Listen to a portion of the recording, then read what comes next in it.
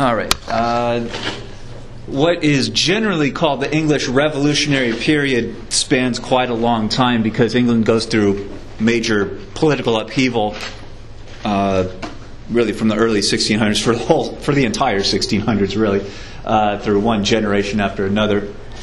Um, historians have written a lot of books on all these things. So, again, just like everything else we talk about in this class, uh, issues that we talk about for five or ten minutes, you could take an entire class on at the university level. So, there's tons of research on all this stuff. Um, I like to emphasize the English Revolutionary period in my classes because I personally see it as one of the first instances of a kind of, at least in some form of popular uprising to get rid of a king and get some kind of democracy ish type government, or at least democracy as we would know it today, where people get to choose their own leaders. Um, this revolution, or this series of revolutions, is not going to be entirely pro democracy. It's mostly going to be kind of criticizing the king. Uh, so there's going to be several different groups involved. We'll get into the big mess of the thing. Um, but we're really going to start with Elizabeth and go all the way through the rest of the century and highlight uh, some of the major arguments and major kind of movements within England that were happening. Um, okay, so again, we'll start. Well, it's not even on. There. Uh, we'll start with Elizabeth, which is really the last English monarch that we have talked about so far through this semester.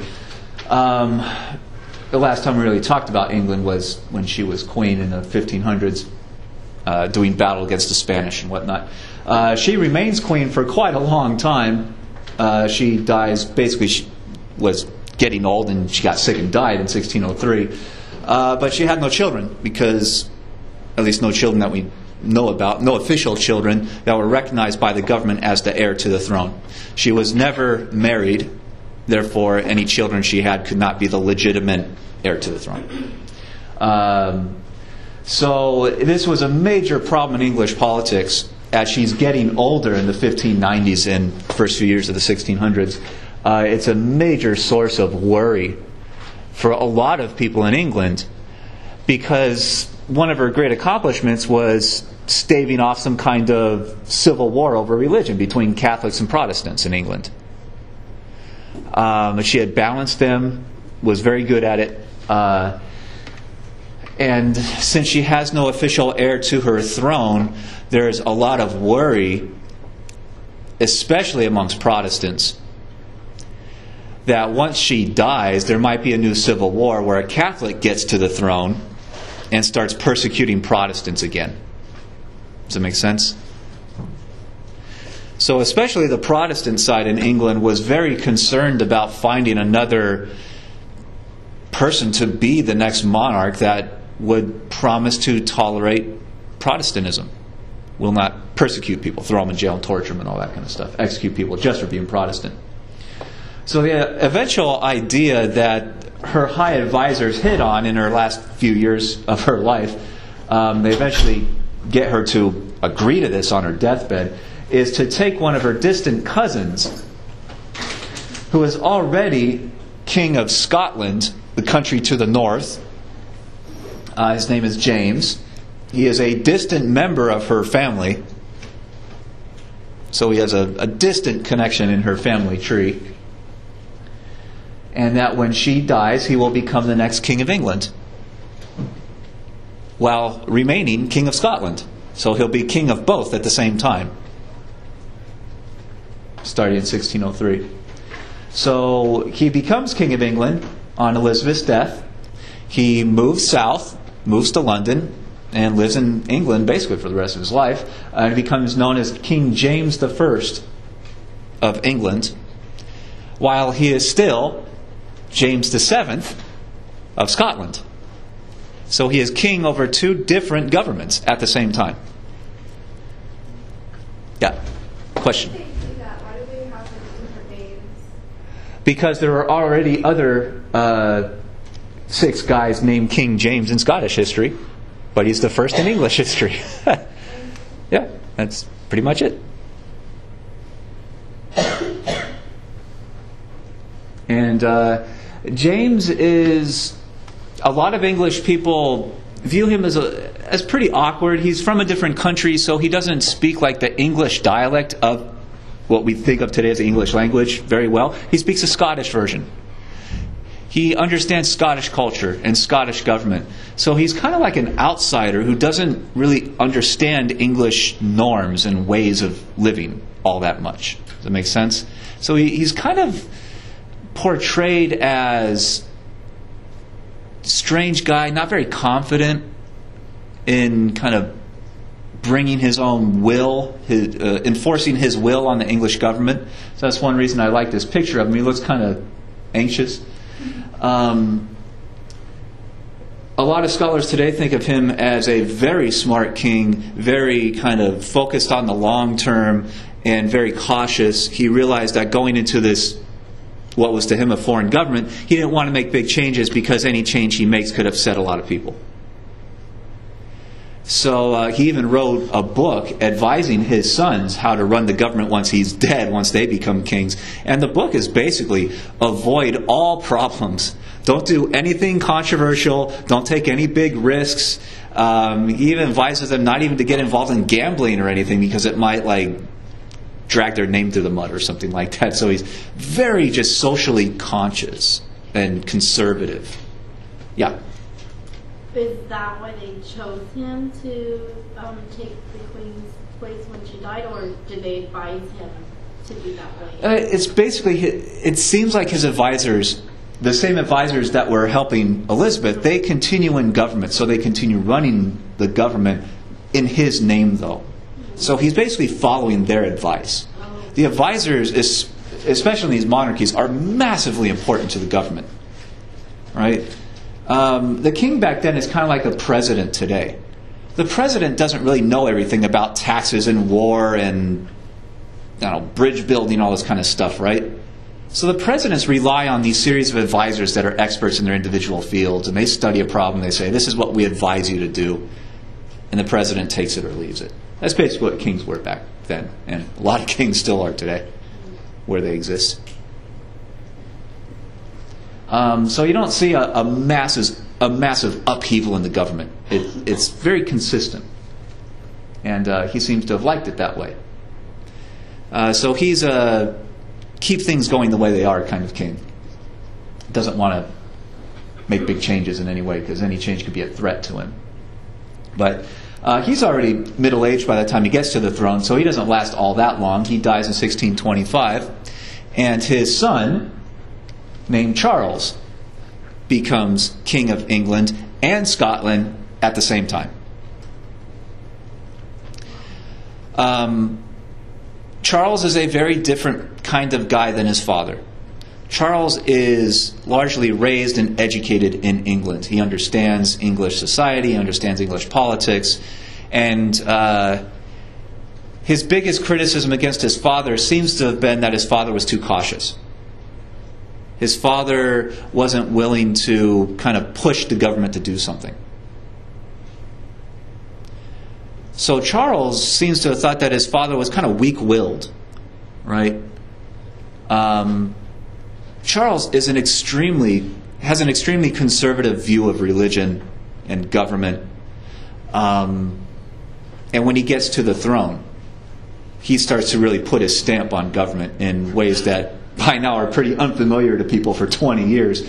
Um, he talks about England is an absolutist state where the king is all powerful, or virtually all powerful. England's a little different than other countries. Um, England has a parliament which is part of it at least elected by the English landowners, anyone who owns property, um, any adult man that owns property, put it that way. I think he had to be something like uh, 25 years old and own land to get a get the right to vote for your member of parliament. Parliament's kind of like Congress. Uh, so it's a little bit more democracy ish, but it's still run by the king. Uh, Parliament cannot pass laws without the king's approval. And uh, when this king gets to the throne, he starts trying to push Parliament around to get them to do what he wants. And sometimes they're a little resistant; they disagree with what he wants. And he tries to, uh, you know, throw down the card of "I'm the king; you should do what I say," and that doesn't really fly very far. Uh, but he talks about the royal right to rule, that he is God's appointed person to run this place. So he very much believes in it and starts appointing a whole slew of new advisors who believe in it. And uh, the administration, uh, the executive branch of the government, is really seen as very heavy handed once this guy gets to the throne. Yes? Where's this stand on religion? Uh, he is fairly tolerant of Protestants. Um, he is thought to secretly be Catholic. Um, he doesn't want to say so publicly because that might start a civil war. Uh, but he puts advisors, um, very staunchly Catholic guys, in high positions of the government. Uh, and in, he starts enforcing laws that hadn't really been enforced very stringently for a long time, especially against uh, publishing certain things that are critical of government. Like people under his father could get away with like publishing like funny books about government satires. Uh, he starts throwing people in jail for it. And there's a, a couple famous instances of a there's this one really smart lawyer in England who figured he could he could get away with it and publish this big book of satire, basically. And uh, the king's advisors brought him to trial for it, found him guilty, and uh, publicly disfigured him as an example to the rest of the country that you're not going to get away with this anymore. Cut off the guy's ears. Yeah.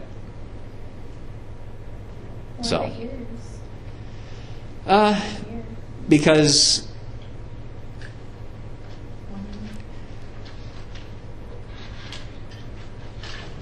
because he would walk around in society and everyone would see it. Does it make sense? It's something you notice. And uh, the guy's response was to simply grow his hair out to try to cover it, but it doesn't really work. So, yeah. Uh, so the message went out that you know this criticism of the high government leaders isn't really going to fly anymore. The government's really going to come after people. Uh, so um, a lot of the, the just like today, if the government got very heavy-handed again, I mean, th- this king argues that this is kind of uh, stopping the, the immorality in the country, right? Trying to tap down, try, try to end all the, the questionable things that people are doing in their private lives to make uh, the people basically a better people, a more God-fearing, God-following, moral, ethical type people. Does that make sense? Um, so just like you hear today, people talking about how we should punish certain crimes much more heavily than we do. There's there's a lot of very conservative people out there that would like to see that kind of stuff. So uh, some people in England of his time think he see him as a hero. He's finally enforcing the laws the way they should be. Um, but a lot of people say this guy's going way beyond what is seen as normal, so a lot of people are very scared of this guy. Um, eventually, he starts getting involved in a kind of series of disputes with Parliament to the point where he doesn't really like their position anymore. He completely disagrees with some of their leaders, so he closes Parliament. He dissolves it, sends out an official proclamation. Parliament doesn't have to meet anymore, they can just go home. I'll run the country myself. That's what dissolving Parliament means. So, this would be like if the President of the United States went on TV one night and said, Congress has given me problems for years. I don't like what they're doing. They're wacky, whatever he wants to say. Um, Congress is closed. Go home. I'll run the country myself. So that's a big step to take, right? Um, and this starts uh, what historians have called the era of his personal rule over the country because he ruled the country personally. He didn't have Parliament around to make laws for him anymore. The problem with that, without Parliament, he can't pass laws by himself. He needs the elected kind of leaders of England to support whatever he wants. So, what laws are being passed in this era of personal rule? None. There's no new laws on the books. He's just enforcing all the same stuff year after year after year. There's no changes because there's no parliament to make changes. Does that make sense? So he gets away with it for a while, but he's going to run into problems in the 1640s. Uh, so that's Charles I. Questions about him at all? We'll keep coming back to him. But that's kind of broad outline of his view of the world and of government. Uh, more pictures of him. Um, let's see. Okay. Here's a map of what is called the British Islands kind of system, uh, or at least most of it. There should be an Ireland out here in the west. It's not on this map, but that's fine. Um, here's England. England is the southern half of the island. Um, England has already conquered this place called Wales, so Wales is part of England by this point. Uh, Scotland is to the north in this bluer area, um, back then an independent country. And the King of England and the King of Scotland, by this point, are the same guy. So Charles I is King of England in London and King of Scotland at the same time. Um, Charles I is also trying to more stringently enforce Scottish laws in Scotland and uh, makes a series of mistakes and makes himself extremely unpopular to the point where major riots break out in the biggest Scottish, Scottish cities, um, notably Edinburgh. Um, he makes himself so kind of hated in Scotland that even the Scottish army rebels against him. So he has like no power to enforce the laws that he wants to enforce anymore. There's basically a Scottish revolution, an uprising against him. Question.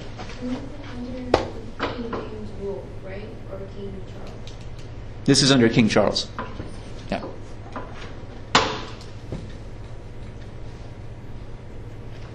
So he's just like burning his bridges everywhere.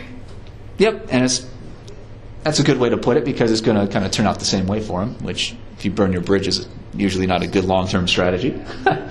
uh, so, what was the reason why the Scotland people were mad Oh, series of things. Uh, there's a kind of tax reform that a lot of them looked at as um, hustling them out of their money. uh, there's a religious facet to it. He tries to bring the English version of the Bible into Scotland, which a lot of Scottish people didn't like, and that started a lot of riots outside of churches.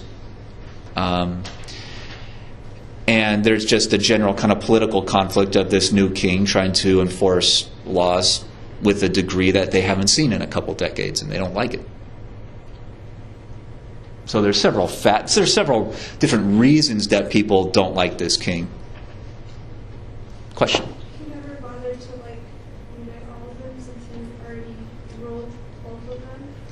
No, there won't be a, much of a question about uniting both countries for another hundred years, till the 1700s. Some people might talk about it, but it's there's no momentum to really do that for a long time. Other questions? Nope. Um, the rioting and the, the rebellion against the King of Scotland gets so out of control that there's nothing he can do to stop it. Uh, his own army won't follow his orders in Scotland anymore. Um, and a big chunk of the Scottish army actually starts invading England. They move out of Scotland and start attacking northern England and conquering land. And he's got a gigantic problem on his hands now. Uh, he has to send out the English army, his English army, to go fight off his Scottish army. So this is a real threat of civil war between his two countries, uh, possibly even within his two countries each. Uh, so he's involved in all kinds of problems. Uh, the English army doesn't really, for the most part, want to go out and fight. So the Scottish army is just taking, gobbling up land and land and lands, moving further and further south. And uh, they demand a ransom payment from the English government. Basically, pay us $1,000 a day which back then was a huge amount of money. And uh, if you make the daily payments, then we will stop attacking. Yeah. Uh, he has no ability to pay because he, he's running like a balanced budget. He doesn't want to go into debt. But he can't get more tax revenue because to raise taxes, you have to pass a new tax law, right? But there's no parliament to pass a tax law because he's dissolved it. So he's in this conundrum. Eventually, he decides to call Parliament back to try to make a deal with them. And uh, the deal that they'll try to make is to say, okay, we'll pass a tax increase so you can pay these guys to stop attacking us. In return, we want a promise, a law that the king agrees to, that the king cannot dissolve parliament whenever he feels like it. So that negotiation goes on for a while, and that is a a difficult negotiation. they they're really angry at each other.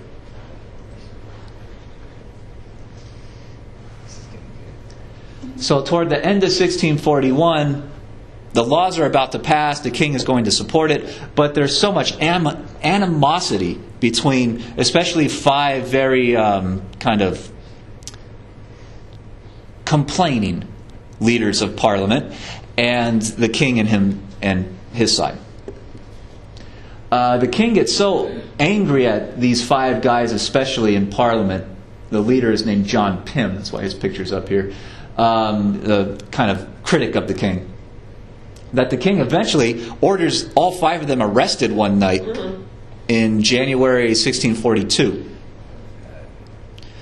Uh, so many people interpret that as the king just trying to throw his uh, his opponents in jail, shut them up so he can get what he wants. Um, these five leaders of parliament get wind of this plot, and so they leave London. They run away so that they don't get arrested. So they avoid being arrested in that night, and they get outside of the city and they basically escape. And uh, a lot of other guys in Parliament don't trust the king very much anymore. They're very angry that he would have done this. Um, so the leaders of Parliament are in contact with the Scottish rebels and will eventually form an alliance with the Scottish rebels uh, to keep the pressure on the king. Basically, as long as the Scots are in the north uh, raising a problem for the king, that puts pressure on the king to form agreements with Parliament. So Parliament thinks this, this is their maneuver to get more and more concessions from the king. Does that make sense? Questions about this at all? Whatever happens to to the five guys that escaped, did they come back? Uh, well, that gets into the their the plot to arrest them causes riots in London itself. Uh, riots that are so violent that the king's army can't even stop the riot. So their last ditch effort to save the king is to get him outside of the city because they feel that his own people are a threat to him.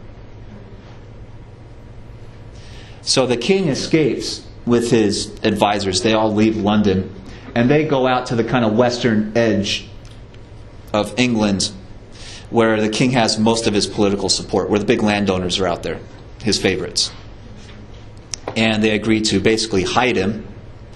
And uh, from there, uh, the leaders of parliament say that the king has done this cowardly thing, this embarrassing thing to him. He shouldn't have done this. He should have remained in the capital city to run the government. Um, so basically, Parliament accuses the king of not being reliable. The king accuses Parliament of having led these riots. Um, and basically, they both start raising armies to attack each other. The king calls his soldiers to his aid. And uh, the leaders of Parliament will start asking for volunteer soldiers to defend London against their own king. So this is going to be a civil war between king and parliament. And they take to the battlefield. They start attacking each other. Um, the king's army, in the first real year of the fighting, 1642, the kind of summer and fall 1642, they get really close to London. London's here. They get really close to taking the city and probably winning the war. Um, it seems that the city itself the, some of the average men just never been trained in the army uh, take up shovels and rakes and stuff like that, uh, just basic types of weapons, and they surround the city so that the king's army cannot attack. The king only has maybe 20,000 troops on his side. London is a huge city by this point. It has probably 150,000 people in it. So just by a popular call to go defend your own city, that's how they keep the king's forces out. Um, the next year, 1643, the king's armies, you can see, are winning a lot of the battlefield and taking over a lot of the country. But they lose a uh, kind of big battle up in the north against a Scots led army. Um, and from there, it's really downhill. Uh, Parliament starts raising larger and larger armies, largely through a draft, because they have the major population centers on their side. So they draft soldiers into their army. They eventually build an army that's twice as large as the king's, and that's really how they win on the battlefield and eventually win the war and take the king prisoner by uh, the end of 1645.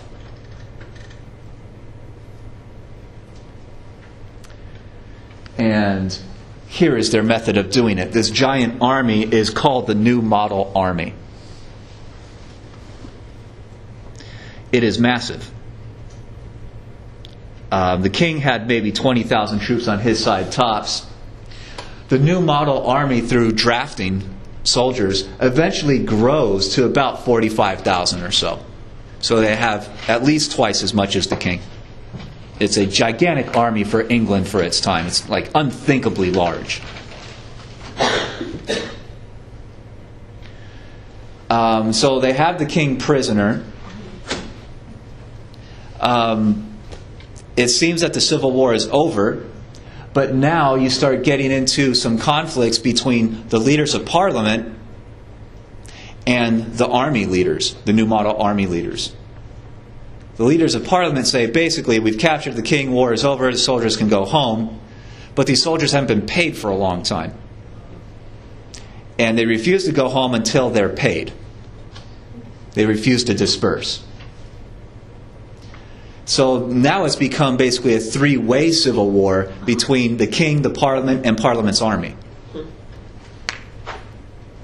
And the army leaders realize that they have a really strong negotiating position because they can just attack parliament and start throwing those guys in jail. Um, eventually, by 1647 in the summer, the army surrounds London itself. Parliament's army, the new model army. And they basically say, You're either going to pay us and send us home, or we will attack the city and take over the government and throw all you guys in jail and then take our money.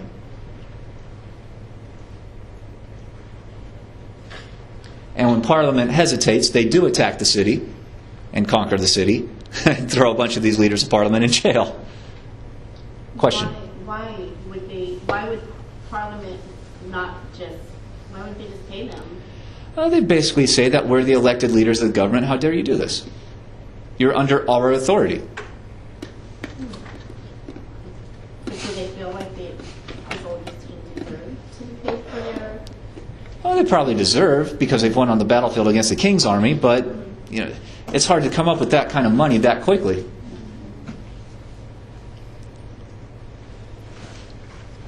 So their tactic is, how dare you do this? Why don't you calm down and maybe over the next five years we'll trickle the money out and pay you off. But there's all kinds of proposals out there, right? This is going on for months. Right. Meanwhile, the king is sitting in like one of his own uh, palaces, basically under house arrest.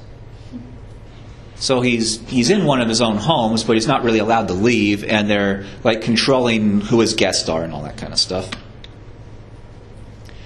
And Charles, the king, thinks that this is really useful to him that the army, the new model army and parliament are bickering against each other because he is running meetings with each side saying if he goes to the army and say, why don't we make a deal where you, the army, and me, the king, will agree on building a new government where we can kind of punish all these leaders of parliament for what they've been doing.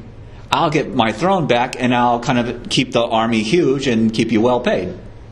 But he's also meeting with the leaders of parliament saying, those, those damn soldiers won't go home. Why don't, why don't you make a deal with me? I'll send the army away once I get back to the throne. So he's like trying to drive a wedge between his two opponents. Does that make sense? Trying to keep them arguing against each other because he feels if his enemies are divided, then he might be able to manipulate that to get his throne back and all of his old power back and basically set things back the way they were. So this is a three-way negotiation that goes on for a long time. goes on for a year. Does that make sense? Uh, the only thing they can ever really agree on is to pay off the Scots and convince them to go home. That's, that's about the best they accomplish in this kind of moment, 1647 into 1648. And then another group rises. Um, everyone in England knows this stuff is going on. It's no secret. This is front page news. And even people who can't read know that it's going on because people just talk to each other. I mean, rebellions against kings are, they're like once in a lifetime kinds of things. Uh, so this is big, big news. Um, and with the king kind of under house arrest, and seemingly no one really running the country, this opens up a big opportunity for people to start publishing books and pamphlets and newspaper articles and all kinds of stuff, saying, proposing all kinds of ideas about what the new government should look like. So this is a great opportunity for all these political thinkers out there. How should we make the new English government? King wants his throne back. Parliament wants to enhance their powers. Army wants money and guarantees of stability. Uh, but there's a group, a fairly small group, of what are at the time extreme radicals who propose what we would think of today as a real democracy. Um, they are derisively called the levelers. Derisive meaning derision. It's a word to make fun of them. Um, the levelers, they hate that word, but that's what's that's what they've been called ever since in the textbooks. Um, the levelers want several things. So, number one, they want full religious toleration of Catholics to a certain degree, but mostly for Protestants. Most of the levelers are real Protestants. Um, they want full equality under the law. They do not want a nobility of landowners that get away with lower tax rates and they get to do all these like privileges and they don't have to be punished and all kinds of things. The levelers say no. Everyone should be equal under the law, no matter how rich or how poor, how much land you own, or if you own none. So they want all laws enforced equally, no matter who you are, even if you're a member of the government. They hate monopolies, one, con- one company controlling an entire market. They demand public education, a school system paid for by government tax revenue. They want voting rights for all men over 21 years old, so they don't want a landowning qualification on voting. They say you shouldn't have to own property in order to get a vote. And that would open up voting privileges to the mass amount of everyday farmers out there who don't own their own land. They're just working on someone else's land. Does that make sense? But they're not talking about giving voting rights to women or ethnic minorities or indentured servants or anything like that. Um, and they want a written document, some kind of constitution as we would think of it today, to give a full description of the liberties, the rights that people are supposed to have, and the limits of government power. And for its time, the 1640s, these ideas are way far left, way, way out there, out on the liberal side. These are radical leftist ideas for the time.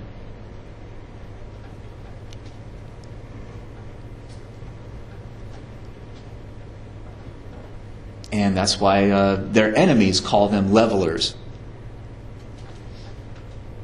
It would be like uh, anyone arguing for this stuff today being labeled a communist, that you want to reduce everyone to an absolute equality, even in wages, that there will be no rich and no poor, everyone will be perfectly equal. That's not what the levelers are talking about, though. So they hated being called levelers and they fought against it as much as they could.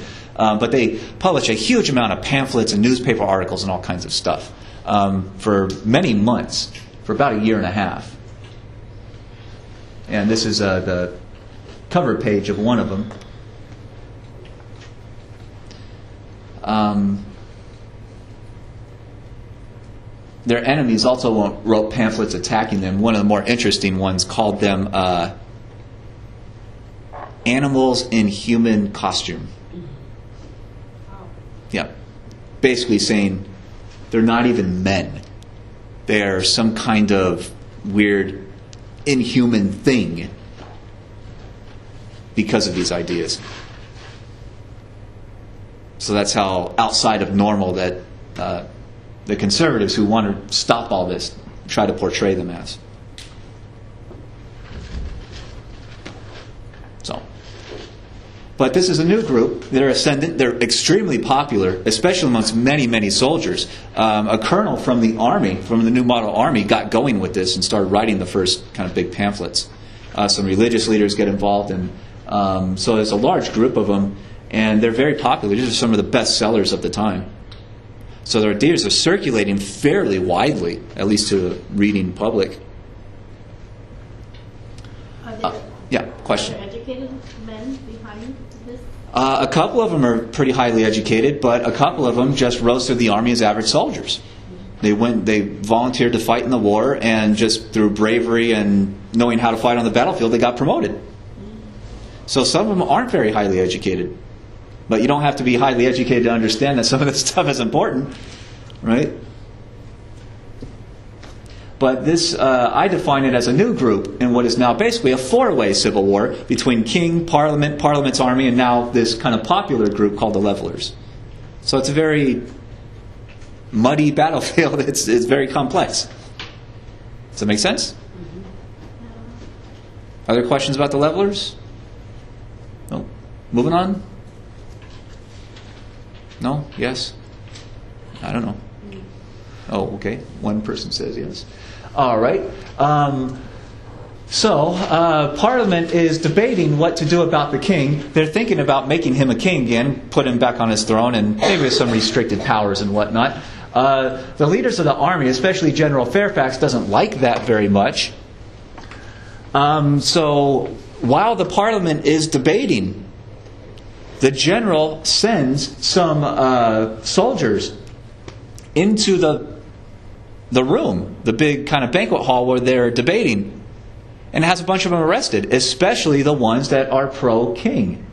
So this is seen as a purge of the king's friends in Parliament. Anyone who's giving speeches intends to vote to put the king back in office, put him back on his throne, and put things back the way they were. Um, the general of the army goes in and arrests all these guys and throws them in jail so they can't vote.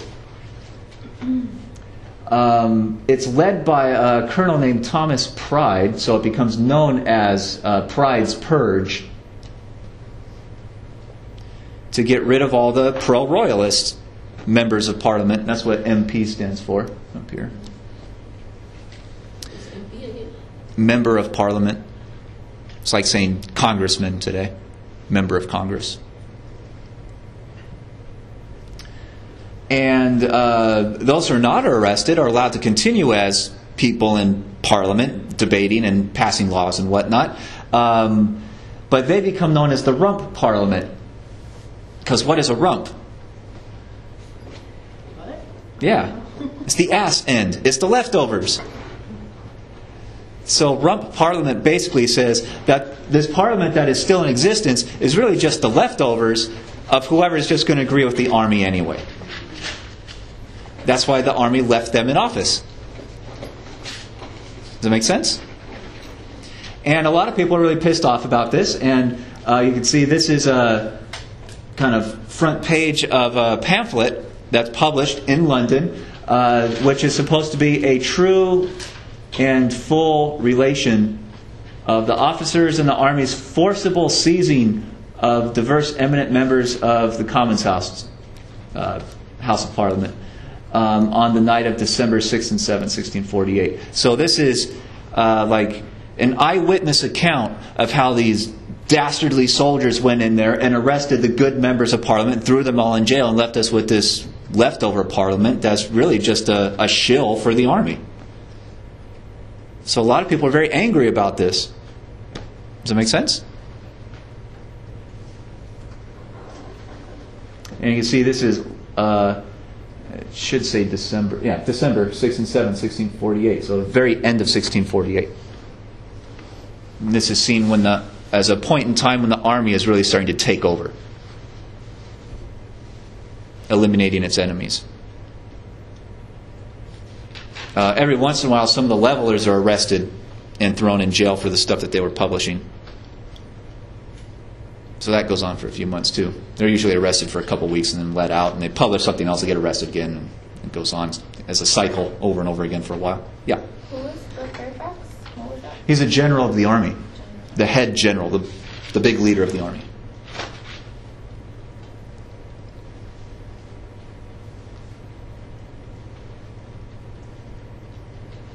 Still moving on? More questions? Say again? Member of Parliament. Yeah.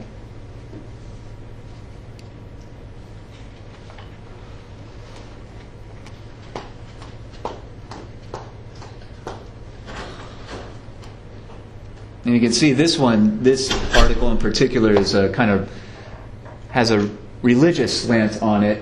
Um, basically saying we've discovered this conspiracy, this remonstrance and proceedings to drive on and promote the Jesuits and the Papists, the Catholics. Uh, Jesuit and Papist designs to subversion of religious, of religion, parliament, monarchy, and the fundamentals of laws and government. The Catholics are taking over.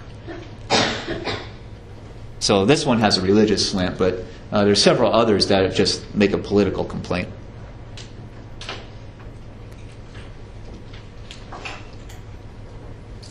Good. Moving on. Okay. Um, next thing they do is they decide to bring the king on in and put him on trial. So they file formal charges against him. Does anyone want to take a guess at what the charges against him were? The big one, at least. Treason against his own people. Treason against the English people. Um, which is a remarkable thing to say for the time. Uh, so this is a, a painting, an image of the king at his defense. He's going to have his own lawyer, his own little table. Um, his trial will occur in Parliament. So the leaders of Parliament that have filed the charges against him, they will be like their own prosecution lawyers. He'll have his own defense lawyer.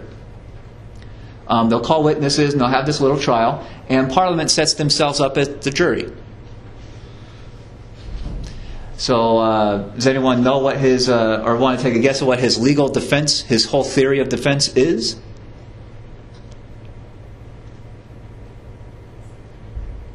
No? He says, I'm the king. I am appointed by God. It is impossible for me to commit treason against my own people because I'm doing God's will. He says the, the entire idea that I can possibly go against my own people is it, it's irrational. It doesn't make any sense. He says there's no way that you can convict me or punish me for something that I cannot do. He says this whole proceedings makes no sense at all. And uh, it's basically a, a, very quick trial because he says that, and then it goes to the jury to decide if he's guilty or innocent. And guess what they find? No, they find him guilty because they don't like him. Um, so they find him guilty of uh, treason against his own people. Uh, next big question is what do you do with a king who's guilty of treason against his own people? do you, like, uh, fine him? You make him pay some money? Put him under house arrest for a few months and let him out? The major problem that the leaders of Parliament seemed to be worried about was uh, as long as the king's around, there's a real possibility of civil war. Because if the king ever gets out of jail, or if you send him out of the country, if he comes back to the country, he could raise an army and start another war. Right? So, what's the best solution to stop that? Kill him. Kill him. That's what they decide to do. They decide to execute him. And they do. So uh, he's taken out into a public square in London on January 30th the next year, so about a month after his trial. Um, they chop his head off. King goes splat. Um, a lot of people witness this because this doesn't happen often in European monarchies. People complain about kings sometimes, but getting the upper hand over a king in, to be able to execute him, that, that's a big, big step and to actually make the decision to do it. Um, so a lot of people witnessed this, and uh, the reports from the diaries and letters that we have from people who wrote down what they saw that day uh, seems to be that the people immediately regretted this. That once the axe fell and killed the king, um, there wasn't like big cheering in the streets or anything. It seems to be more like the axe fell and he heard this, like, damn, wish we didn't do that one.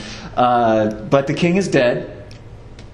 Uh, the family, his wife and children, are sent out of the country into exile. So they go to France. The king of France gives them a kind of place to live, a little palace and all that. Give, honors them. Um, so they are out. Uh, Parliament is now running the country. Parliament starts kind of passing some laws trying to set up a new government. Uh, the first one, the first big one that they passed, is to abolish not just this king, but they abolish the idea of having a king. So they say we will never have a king again. So this is parliament. Yep. This is what Parliament says. Two days later, they pass another law that abolishes the House of Lords. Um, Parliament, just like Congress in the United States, had two houses. There's a lower house called the House of Commons, which is where the elected guys of Parliament go. then there's an upper house called the House of Lords, and if you're just a big landowner, you never have to get elected. You're a lord. So you go and sit in the House of Lords and help pass laws. Does it make sense? So the House of Commons says that this thing is way too much like a monarchy. It's a family inheritance of political power. So they abolished the House of Lords two days later. So the House of Commons, the elected members of Parliament, will run the country, and they declare England a commonwealth. The government is supposed to interact with and work with and help the people to make a better society. The people have a fair degree of, degree of equality. And they start endorsing some new laws, uh, especially some leveler ideas, calling for um, all men have the right to vote, and they're going to have new elections to elect a new parliament. So a new group will write a constitution and do all these things. Does that make sense? So the House of Lords, you said, was the elected members of Parliament? No, the House of Commons. House of, Yeah, they're the elected members. The House of Lords are the lords, The landlord. the landlords. oh, Yep.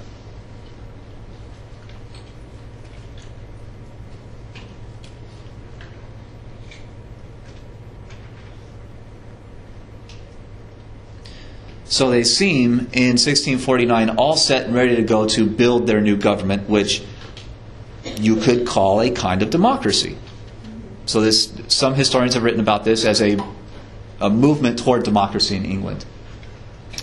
Um, doesn't happen though, because uh, the General Fairfax retires, and the second in command kind of becomes a new general. His name is Cromwell. Um, he basically doesn't trust the English people to have real equality. He doesn't trust democracy.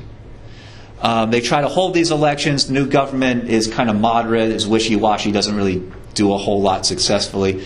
Uh, so he, with his army, basically takes over the government. Um, he consolidates power. He brings the army in, arrests a lot of the leaders of parliament, throws them in jail, and basically declares himself the new leader of the country. Um, this happens in phases over a couple years. But by 1650, 1651, he's pretty solidly in power, and he's running the government. Question? Yeah, so he was, uh, he wasn't from the parliament, so. Nope. Well, he was a member of par. He had been elected also, so he's a member of parliament and also the general of the army. But he doesn't agree with the parliament he's talking about. He doesn't agree with the new leaders of parliament at all, and he thinks that they're so weak-willed that they're going to destroy the country, and he knocks them out. takes over and he says, I'm ruling for the stability and health of the English people. I can get things done. And they let him? Well, a lot of English people are really pissed off that he's doing this, but anyone who complains is arrested, thrown in jail, and sometimes you sit in jail for years and years. It's not like the United States today where you have laws that say if you're put in jail, you have to like go before a judge and have charges filed against you and go to trial at some point fairly soon. Um, back then, you get thrown in jail, you could sit there the rest of your life without ever seeing a trial. It's just whenever the, the government decided to convene a trial. So getting thrown in jail is a very, very, or much more scary thing. It's pretty scary today, I imagine. I've never been thrown in jail, but um, I imagine it's not a fun experience. But it was much worse back then. And governments back then tended to literally torture prisoners to get them to confess to crimes. So it, it's very scary, the idea of going to jail back then. It's a real threat to your life. So uh, Cromwell takes over. He calls himself the protector of England. Um, there's a. He eventually closes Parliament completely and just runs the country and passes laws himself and does all kinds of things. Um, so his official title will be um, Lord High Protector of the Realm, something like. Yeah, there it is. I knew I wrote this down somewhere. So it's up there in the slide. So he gets rid of Parliament completely in 1653 and just runs the country himself. so is he considered a king again? Or no? Uh, most people look at him as a king, but he had also led the anti king movement, so he can't call himself king, but he has all the powers of king. Um, declares that his eldest son will inherit his power when he dies, so it Yeah. really looks like a new monarch.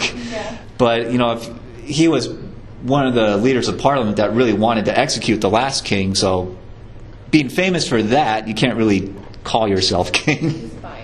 Yeah. Without being called a hypocrite, at least.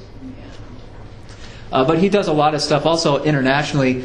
Um, he wants to make England into a major imperialist power, so he launches imperial wars, especially in uh, the Americas, uh, especially going after Dutch colonies in the Caribbean and some places in North America. He will also uh, launch a major invasion of Ireland to try to conquer Ireland outright, which at that time was a foreign country. And the Irish are very resistant to that. Um, the English invasion of Ireland looks almost genocidal. It's extraordinarily violent. Uh, basically, the English army shows up, just k- starts kicking Irish people off their land and killing anyone who complains, and uh, kind of parceling up that land and giving it or selling it to English landowners. So it's outright colonization. And uh, he actually gets sick. He gets malaria in Ireland and dies. Uh, but that starts off a series of conflicts between the English and the Irish over who really should control Ireland. That goes on for hundreds of years. Does anyone know when that ended? 1999. so it just ended 17 years ago. This conflict, this intermittent warfare, what the Irish call a revolution against the English colonists. So it goes back and forth. There's atrocities and assassinations and all kinds of bombings and stuff in our own modern times that went on for years and years and years. Um, that was a long term conflict. Um, that's part of Cromwell's legacy. So Cromwell dies in 58. Uh, his eldest son kind of takes the throne or the position for like a couple days, but uh, everyone who hate uh, Cromwell's a fairly hated person throughout England by this point. He's seen as a tyrant, a dictator. Uh, so a lot of people hated Cromwell. Um, when his son tries to rise to that position, they see this as a good opportunity to just knock the kid out of power and destroy this protectorship government and rebuild the English government. So his son Richard only lasts a couple days before he's just, just knocked out by popular uprising. And at this point, the English have to figure out what are we going to do now? Um, their eventual decision is to try to rebuild a monarchy. The feeling by this point is we haven't had a good, reliable, solid king in 20 years. This is 1658, 59, 60. It's been 20 years of civil war and infighting and dictatorship under Cromwell. So a lot of people, after 20 years of this kind of chaos, they look back on the old monarchs, Charles and his father James, as like, things were so much better back then, right? So they eventually decide to invite the dead king, his son, his family, back to England to rebuild the monarchy. So his eldest son, also named Charles, is kind of invited back to London to take the throne again after they killed his father. Is that resentful? Well, you could be resentful and pouty about it and stay in France, Yeah. Or you could make a deal and go back and be king of the country again, right? So he's very angry about it, and he's he's going to punish the people who really led the movement to kill his father. There's no doubt about that. He is exiled. He and his family are living in France. So he had two brothers. I mean, a brother. Yeah, he has a younger brother. Um, this guy never really gets officially married. He has a lot of mistresses, has a lot of kids, but they're never official like heirs, right? So you have to be married within the, the Church of England to have all that like official heir to the throne title, right? Does that make sense? Um, but he and his family return, and this is generally called the Restoration, because the monarchy is restored. The old family is put back on the throne. This, uh, this is a famous picture that I like of Charles II, becomes king in 1660 on his return, um, because all of the image of greatness and power and wealth and splendor and prosperity, this all goes to him. So he gets to wear all the full regalia, he gets the big throne, the big hat, and even gets a giant pillow for his feet.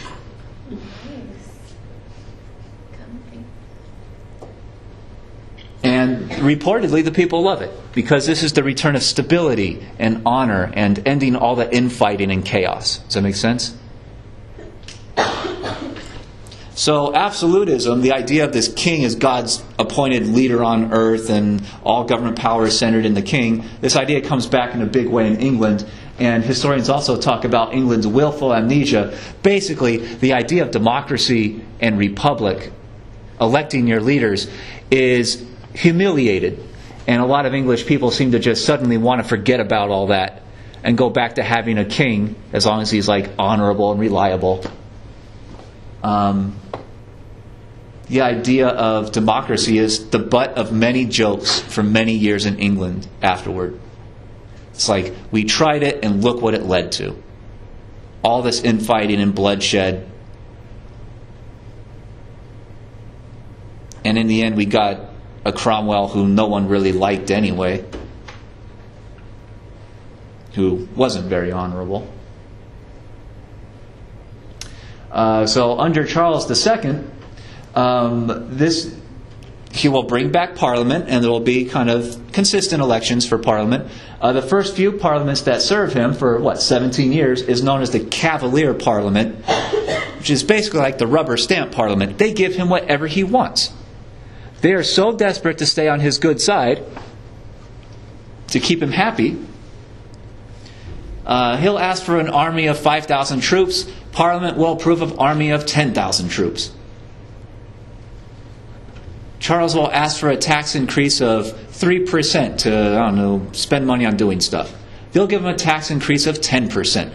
They not only give him what he wants, they consistently give him way more than he asked for.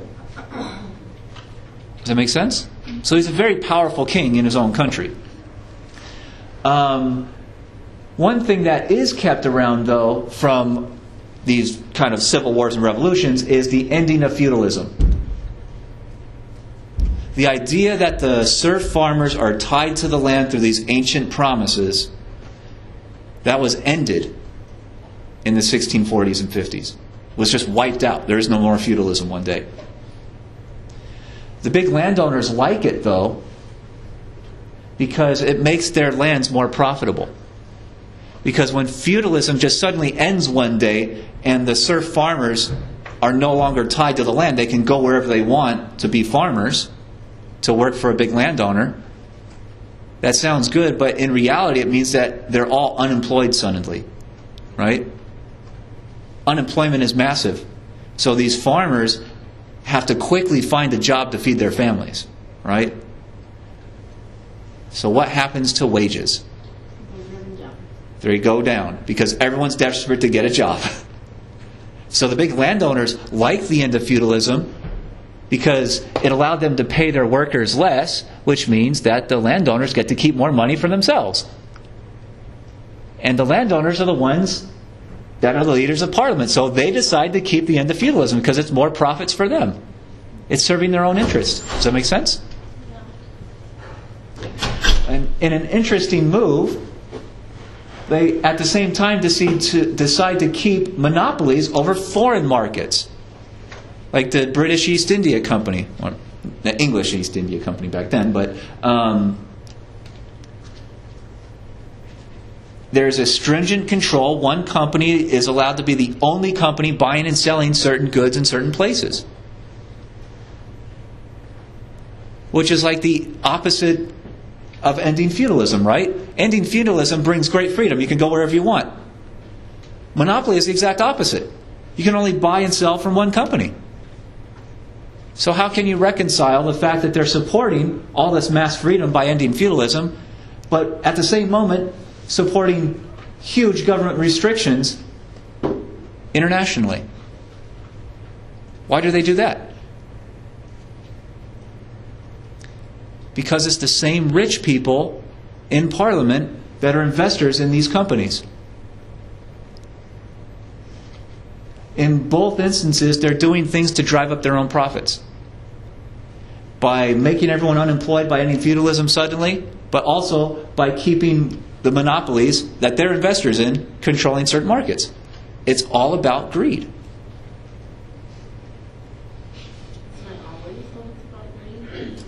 Well, not always. Sometimes people are more ideological and they want to support uh, market freedoms to end feudalism. But if you're going to support market freedom, then you cannot have monopolies, right? Because a monopoly is a restricted market, it's a controlled market. So people arguing for free markets should want to break up monopolies. So some people are ideological. These guys aren't. They're in it for money.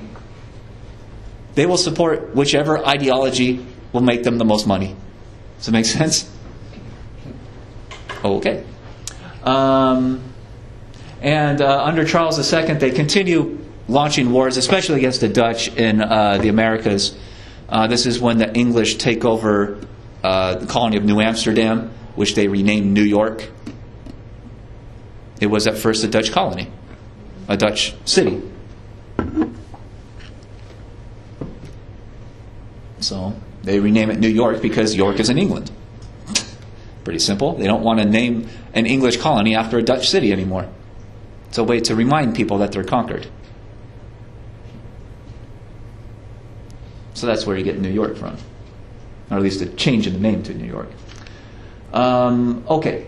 Questions about any of these? Nope. All right. Uh, as you get into the 1670s and especially early 80s, uh, the big problem is that Charles got to the throne when he was already middle aged. Um, I think he's something like 30 years old or so. Uh, he's on the throne for 25 years, but he never officially gets married. He has all tons of mistresses, tons of so-called illegitimate children because they're not coming from a woman who he's married to through the church. Um, so he doesn't have any official children to be heirs to his throne. So he convinces Parliament to pass a law naming his younger brother James to be the official heir. Does it make sense? All right. Uh, this creates a problem, though.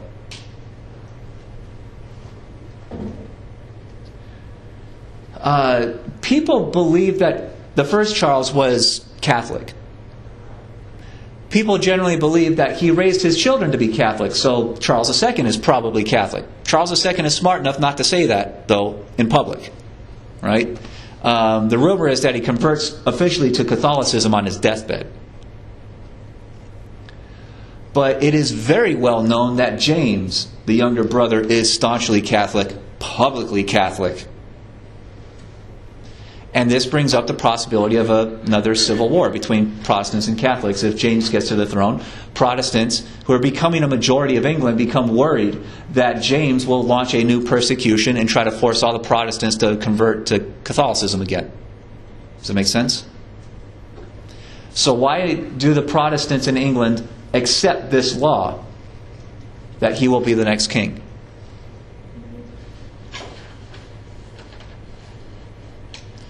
It's really because James is already an adult and he has kids. And so this is his family tree. You don't have to write all this down.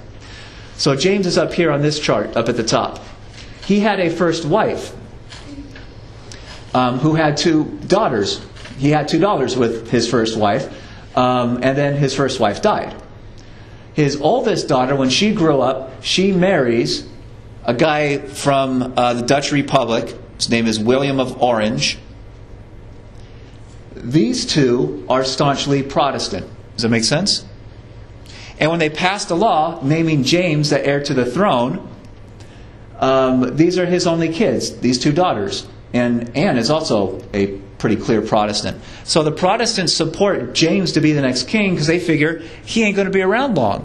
He may be king for about 10 years or so, but when he dies, we're going to get this Protestant line again, so they'll have babies and whatnot, so we'll have Protestant kings forever. Does it make sense?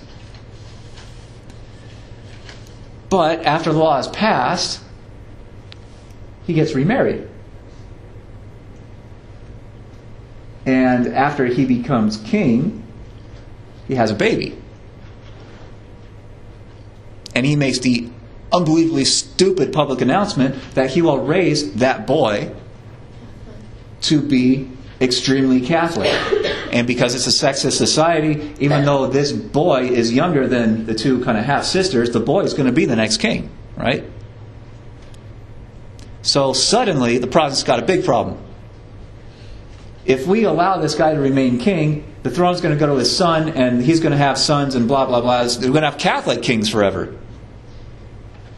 So the Protestants hatch a plot to go make contact with his oldest daughter, Mary, and her husband, who is one of the leaders of the Dutch government. Secret messages are sent by English Protestants from London to the Dutch Republic, basically saying, why don't you get the Dutch Navy together and a bunch of soldiers and invade England, and all the Protestants in England will rise up and help you invade our country to kick out our Catholic monarchs and will allow you guys to be king and queen. Does that make sense? And basically, in 17, or 1689, four years into James's rule, his daughter and her husband leads an invasion against him. And the English Protestants rise up, and uh, it appears that James panics um, and runs away, leaves the country and this becomes known as the Glorious Revolution of 1689. Uh, glorious for two main reasons. Number one, there's virtually zero fighting on a battlefield. The Dutch army shows up. The English Protestants come out in public and say they'll support the Dutch invasion. And the Catholic royal family runs away. They go to France. So there's very little actual fighting. And what might be a second reason for calling this the Glorious Revolution? Who's calling this the Glorious Revolution? The Protestants. Because they get a Protestant monarchy.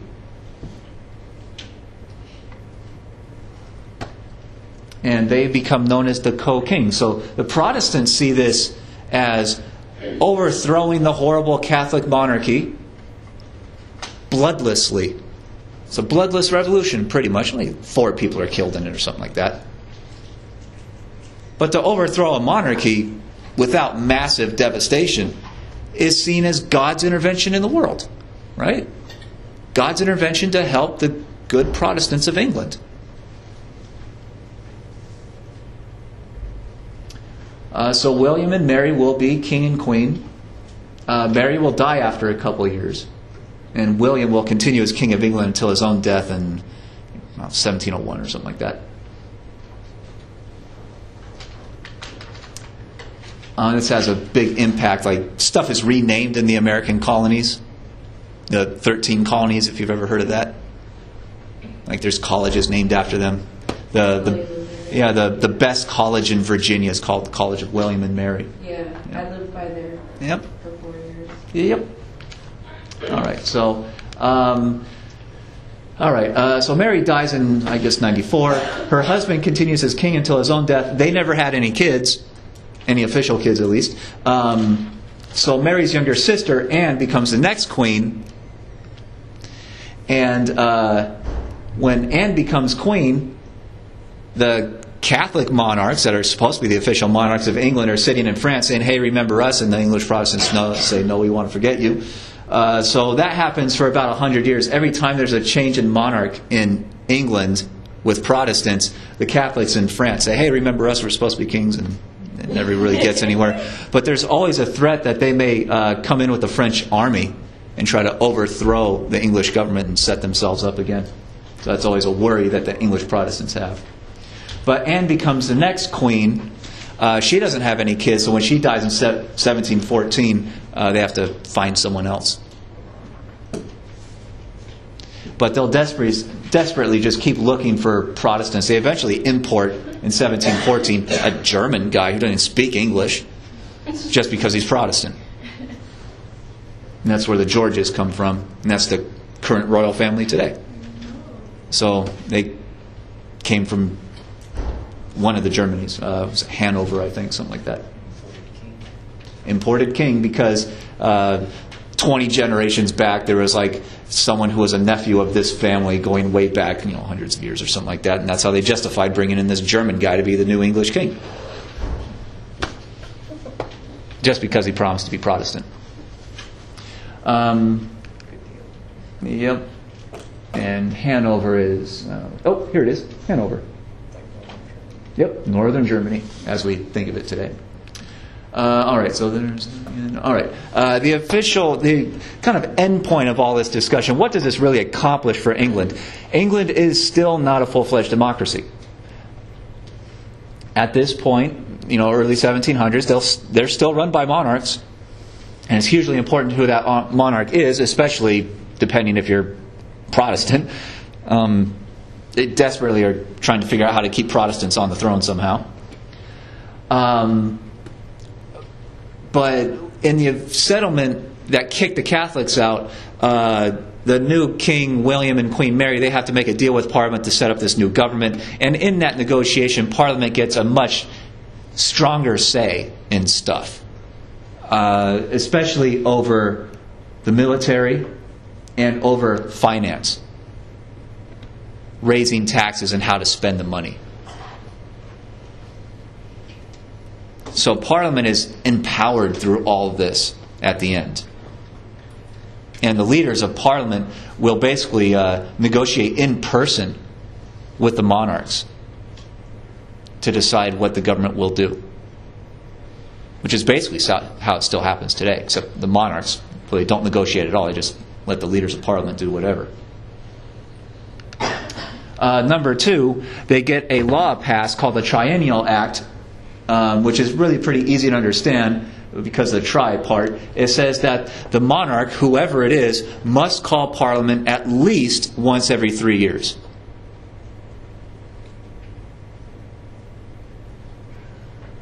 And with the Act of No Dissolution, the monarch cannot just dissolve Parliament in the middle of its session whenever the monarch feels like it. So these laws are still there today. They're still on the books. Um, today, there's so much for the what is today the, the UK government, the United Kingdom, um, to do that it pretty much meets constantly, year round. So they take vacations and whatnot, but they're virtually always in session. Much like the U.S. Congress is today. They're, they're always, they take vacations every once in a while, but they're always meeting, passing laws and debating and whatnot.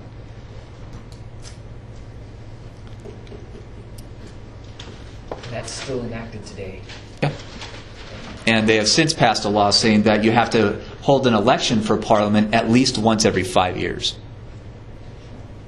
And in the UK, uh, Britain, uh, they just had their most recent election about a year ago. I think it was like last May, something like that. It was last spring, 2015. And they dragged that one out as long as they could because the last election before that was almost exactly five years before. It was in the spring 2010. Because they were afraid of they had an election, uh, they were going to lose. So they dragged it out as long as they could. And who decides when to have an election? Parliament does.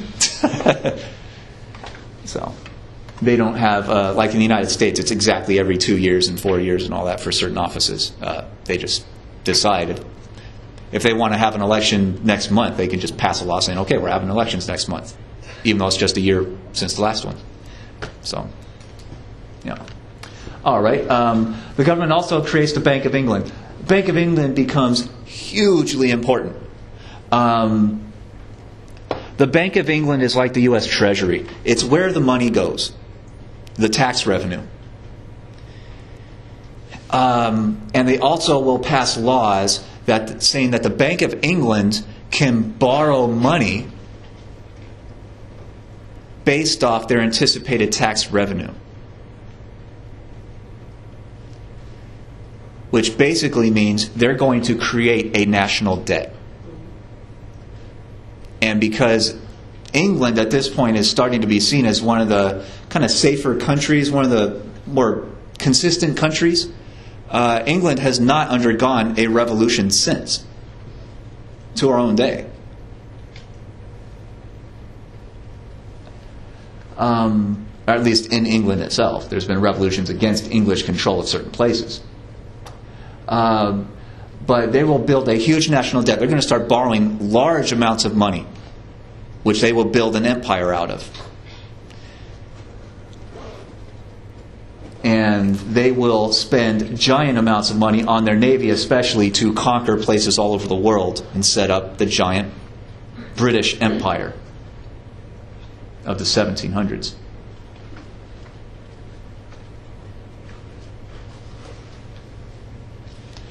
And just like you see with the United States today, when you build up a huge military, um, they hire private companies to build those boats and guns and make the uniforms and all the stuff that's going to supply the military, right? So you have contractor companies, defense contractors as we call it today, um, that sell a huge amount of stuff to the government. And they have become extremely profitable companies, just like today. And some of the leaders of parliament are investors in those companies. So they'll keep passing laws to buy more stuff from a company at hugely inflated prices because they're they own stock in the company. The more stuff the company sells, the higher value the stock is, right? So and companies use their huge profits to reinvest in politics to win elections to keep their friends in power. Sound familiar? Yep, still happening today. So, um, a lot of the end point is through all these revolutions, you've had changes in kings, changes in government styles to a certain extent, but the rich still basically own the government. Big mercantilists, big, what we today call corporate powers, big businesses tend to own the election system because they take a small part of their massive profits and they give bribes, what we today call political contributions, campaign contributions, um, to guys running for office, today women running for office too. Um, and they basically buy candidates. And they win elections because they're spending so much more money than their opponents. So England, um, in the early 1700s, they this is when they passed a law in like 1708 or something like that. They passed a law in England and Scotland at the same time to unite their two countries. So they become known as Great Britain at that point. They become the British Empire. but Britain back then can claim to have overthrown absolutism, right? The idea that the king is the center of government, the king has all the power of government. They can say that they overthrew that, and they, they have a fair degree of democracy because Parliament is really powerful now, and Parliament is really run by voting. So they can claim to have a democracy, to have overthrown absolutism, but in reality, you have a government that is still controlled by the rich. It is still corrupt through what we today call the campaign contribution system.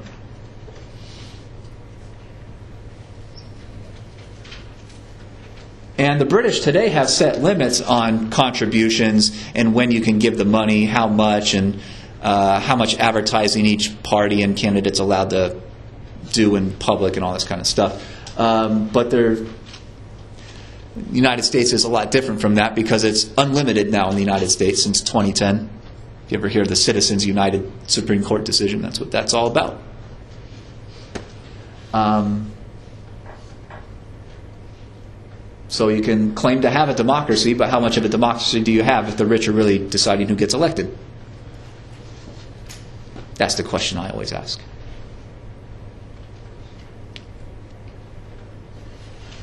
And uh, the British national debt just absolutely skyrockets in the 1700s. It's pretty unbelievable, which will lead to the American Revolution.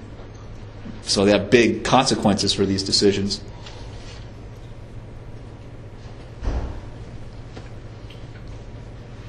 So, making sense? Any questions about all this?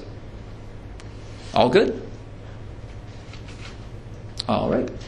We'll stop there. So make sure you leave your uh, questions in the folder.